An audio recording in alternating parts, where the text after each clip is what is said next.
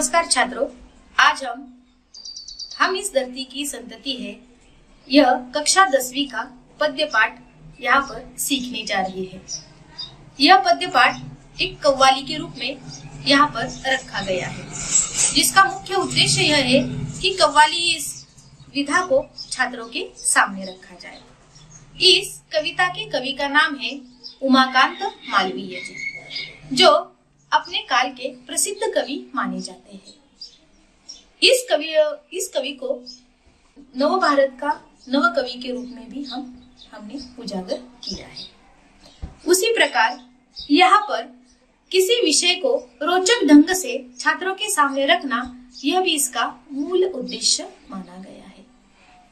अगर हम किसी भी विषय वस्तु को अत्यंत रोचक ढंग से छात्रों के सामने रखेंगे तो ज़ाहिर है कि यह बात छात्रों को जल्दी समझ में आएगी उसी प्रकार इस पद्य कविता में महापुरुषों को, महापुरुषों के नाम लिए गए हैं, जिसमें स्त्री भी है और पुरुष भी है। और इन महापुरुषों के नामों की जानकारी भी छात्रों को होनी आवश्यक है। इस उद्देश्य से यहाँ पर यह नामों की यह योजना की गई है। उसी प्रकार यह बता, सबसे महत्वपूर्ण बात यहाँ बताई गई है वह है कि आपस में झगड़ा करने से कोई भी फ़ायदा नहीं होता। किसी का भी नुकसान नहीं होता। किसी का भी फ़ायदा नहीं होता होता तो नुकसान ही होता है।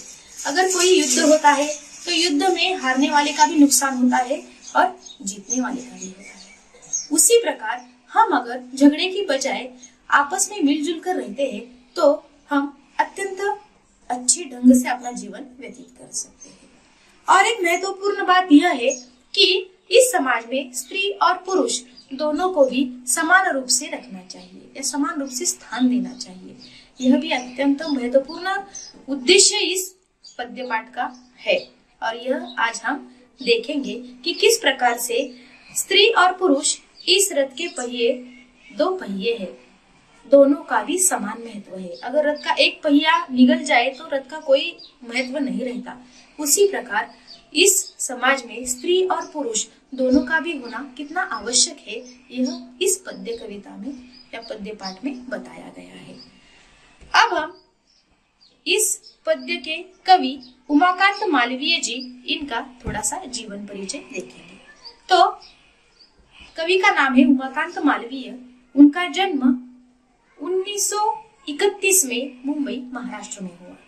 तथा उनकी मृत्यु 1982 में इलाहाबाद उत्तर प्रदेश में हुई है। भावों की तीव्रता और जन सरोकारों को रेखांकित करने वाले इस कवि को हम उनका अग्रणी स्थान देखने वाले हैं। हिंदी साहित्य में आप नवगीत के भगीरथ के नाम से भी जाने जाते हैं।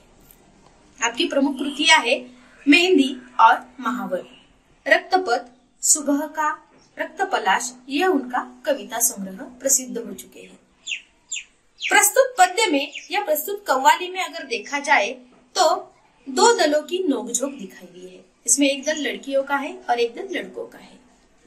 और ये दोनों दल अपनी अपनी श्रेष्ठता सिद्ध करने पर लगे हुए हैं। और यह श्रेष्ठता सिद्ध करने के लिए वे अनेक पौराणिक महापुरुषों का उदाहरण एक दूसरे को दे रहे हैं। उसी प्रकार यह झगड़ा एक दूसरे को श्रेष्ठत्व सिद्ध करने के लिए यह दिया गया है।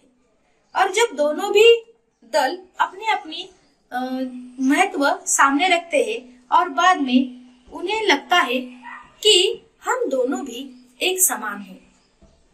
उस प्रकार, जिस प्रकार रथ के दो पहिए होते हैं। अगर एक भी नहीं रहा तो दूसरे का महत्व नहीं रहता। उसी प्रकार इस समाज में स्त्री और पुरुष दोनों का भी समान महत्व है।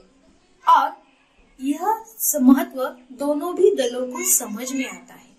और ये दोनों दल आपस का झगड़ा छोड़ देते हैं और तृतीय चरण में दोनों में फिर समेट हो जाती है, दोनों एक हो जाते हैं और इस भारत माता की प्रगति उन्नति करने के लिए आगे बढ़ने का संकल्प करते हैं।